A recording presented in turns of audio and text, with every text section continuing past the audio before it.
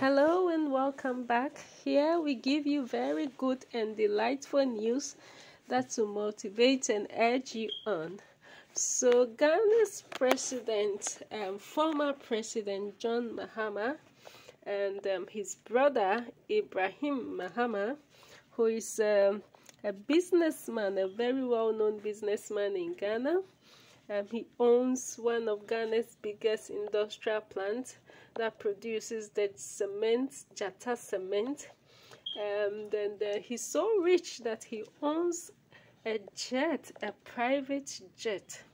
So recently, he he took to social media to show his fans a video of him flying his private jet by himself and um, all of his fans were super excited to know that he's not only a businessman and he doesn't drive only fancy cars but he's able to pilot a plane by himself.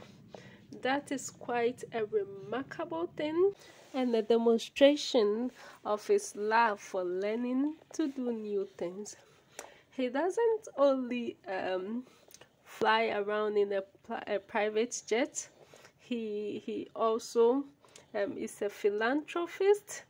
Um, he helps his um, young ones. He helps people who are in need, and um, he recently also invited Ghanaians on his social media to join him for a, a private trip in the jet, and um, the those who responded were quite excited to join him on on this um, wonderful trip. Though his brother is into politics, Ibrahim has not demonstrated any interest in being a politician himself. He only is into business. Um, he's into helping others to achieve their dreams. Um, he is to contributing. He is into contributing to the um, creation of jobs and to the opening of opportunities for all in the Ghanaian societies.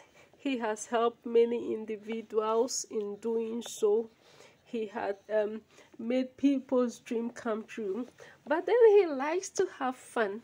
And in recent times, he was also videoed um, in his private boat in a yacht, or is he a boat? Yes, on the on Ghana's lake. Um, well, you know, all work and no play, they say makes Jack a dull boy. So, we wish him well and we hope that um, the young people of this country will also follow in his feet. Um, will, will, will go into businesses, will work hard, and will do great things by themselves. So, thank you for watching.